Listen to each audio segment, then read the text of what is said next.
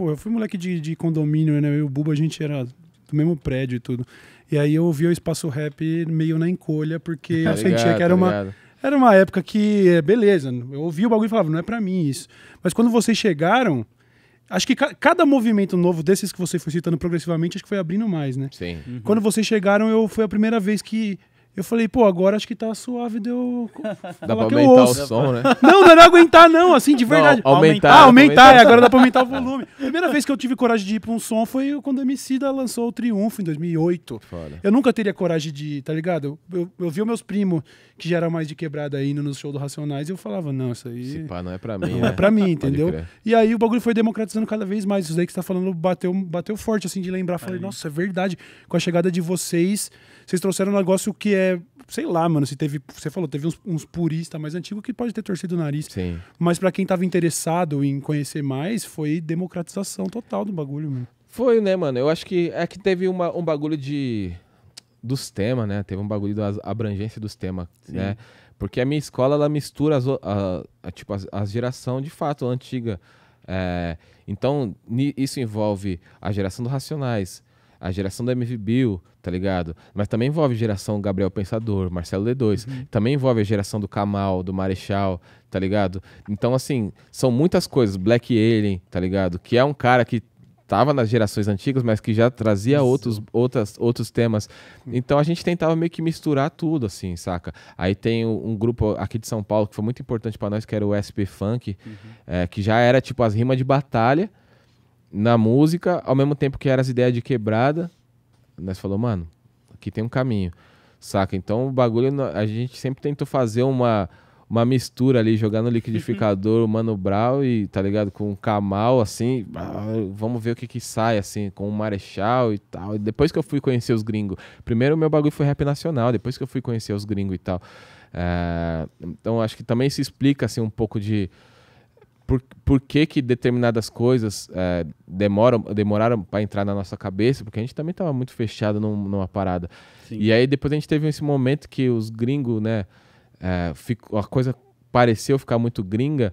E agora, de fato, também parece um pouco tá, mesmo- tá muito gringa, mas ao mesmo tempo que muita gente só ouve as coisas daqui, né? É, Uhum. doideira. É louco, mas eu acho, que a- eu acho que rolou uma globalização da estética, assim, do, do bagulho, né? Pô, anos 2000 era só DVD Black total. Nossa, total. Nossa, era só Black Charm. É. Tá ligado? É. Onde você ia, era isso. Tipo, teve a época que era só espaço rap. É. Aí a época que logo depois veio Black Total. Todo lugar. Black total, mano. Quermessinha, quermessinha de quebrada, só Black Nossa, total. Akon pra caralho, tocando em todo É, lugar. Nossa, é verdade. Era doideira. Vai, volta nisso, você falou, parecia que tava muito americanizado. É. E aí hoje eu vejo muito mais. Eu lembro quando eu comecei a ver todo mundo escutando muito rap nacional. Pô, Castelos e Ruínas, o PK ali. O, Sim. o suicídio, né? Como você falou.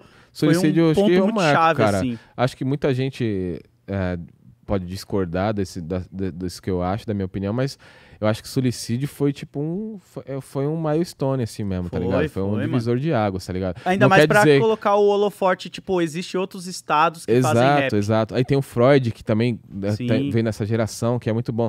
Não quer dizer que lançou suicídio, aí agora passou a existir Não. um novo rap. Não, já existia, mas a- é, aquilo foi um chamariz para que as pessoas passassem a prestar atenção em outras coisas, tá ligado? Exatamente, mano. É, aí agora a gente vive um momento, por exemplo, que o trap domina e, e é muito louco como o trap trouxe e tornou gigantes, principais artistas do país, talvez, é, artistas que são totalmente fora do eixo Rio-São Paulo, tá ligado? Sim. Artistas que são do, do Ceará, artistas da Bahia, tá ligado?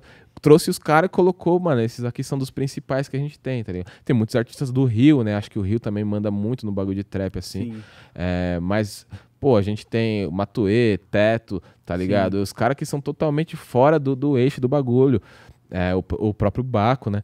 E, e isso aí é importante pra nossa cultura, mano. É importante. O Brasil é muito bom. E por tradição também, é, Rio de Janeiro e Bahia sempre tiveram uma grande contribuição pra música brasileira, saca? E aí no rap a gente ficar fechado em São Paulo, de certa forma, a gente só perde. Então quando você começa a olhar pra outros lugares, você só tende a ganhar, mano. A cultura enriquece, o jeito de fazer música enriquece, o jeito de fazer rima enriquece, as batalhas. Como- olha como as batalhas estão rolando agora, Sim. mano. Olha o Mar de Monstro já em- no Espírito Santo, tá ligado? Isso é incrível, a gente só tem a ganhar com isso. É, volta no que você tá falando desde o começo, né? Somar, né? Tá todo mundo aí pra exato, somar. exato, mano. É isso. é- É, e é, é legal pensar que o, você falou, pô, Bahia e Rio de Janeiro sempre contribuíram muito pra música, só que o rap ele veio com esse conceito que nasceu nos Estados Unidos e veio pra cá, e assim que o Brasil tomou conhecimento, aí tendeu pros lugares onde É. naturalmente já Sim. efervescia a música brasileira, né? Sim. Muito foda, muito e, foda. e aí, eu acho que isso é importante também pra você criar uma variedade de estilo, né, mano? Igual nos Estados Unidos. Se a referência é os Estados Unidos, porque foi lá que o bagulho nasceu, você tem um estilo em Nova York, você tem um estilo É. em Los Angeles, você tem um estilo em Atlanta, você tem um estilo em Detroit, você tem um estilo em Chicago, tá ligado? É, então, quando você permite, né, permite entre muitas aspas, porque também não acho que, embora acredite que durante a história teve muita gente que fechou muita, muita porta pra muita gente, mas eu também não acredito que estava na mão de uma pessoa essa chave, saca? Mas quando o público e os artistas que estão no, no eixo começam a prestar atenção nas outras coisas, você permite que esses estilos aflorem, tá ligado? E aí você tem uma característica que você só vai ter no rap de Salvador, uma característica Sim. que só vai ter no rap de Porto Alegre, uma ca- característica que só tem no rap de, de Brasília, que isso sempre teve, né? Sempre teve, o rap de Brasília sempre teve uma uma, um, um estilo próprio, assim, tá ligado? Quando, desde DJ Jamaica, que Gog. descansa em paz, o GOG, Guindart 121, já tinha uma característica, assim, tá ligado? É, Brasília sempre foi um lugar que ditou um ritmo de fato, assim, né? Literalmente, tá ligado? É, e aí o estilo de São Paulo é diferente do estilo do Rio, mano.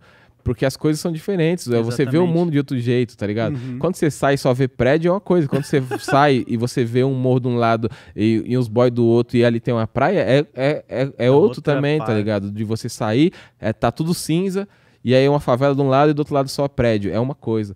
E a única água que você vê é do Rio Tietê e do Pinheiros, tá ligado? Verdade. O seu rap fica. A sua arte, ela, ela é influenciada pelo, pelo meio. Uhum. É, eu acho louco, inclusive, que no, no doc do, do Racionais, tá ligado? Um spoiler aí pra quem não viu, porque quem não Pô, viu que- Ah, ainda. quem não viu tá errado, atrasado, né? Pelo tá amor de ligado? Deus. Sem vergonha. Quando o Brau fala que ele. Quando ele compôs ali o Nada Como Um Dia Após o Outro, que ele, que ele começou a ir lá pra beira da represa nos dias que não tinha ninguém. Falou, comecei a fazer o contrário, ia pra beira da represa quando não tinha ninguém. Tava chovendo, ia pra lá, parava o carro, ficava lá, fumando e pensando, tá ligado? Isso é muito louco, tá ligado? Isso é um bagulho de uma sensibilidade absurda pra mim, artística, assim, super aflorada, assim. É, é um bagulho de um artista mesmo, que tá atrás da arte, saca? Sim. E, é- e essa é a paisagem que inspira aquele disco. Olha como aquele disco soa. São Paulo pra É, caramba. pra Nego. Drama, São Paulo pra caramba. Quebrada de São Paulo pra caramba. Acho que se explica muito, assim, como esse disco bateu. E ao mesmo tempo que é Quebrada de São Paulo, ele conversa com as outras quebradas, saca? É, no Brasil afora. Só que aí quando você vê um, um- um cara de outro lugar, quando você vê o Orochi fazendo um som no Rio lá hoje, você fala, mano, isso, isso é Rio. Isso Sim. soa Rio de Janeiro, tá ligado? Tem.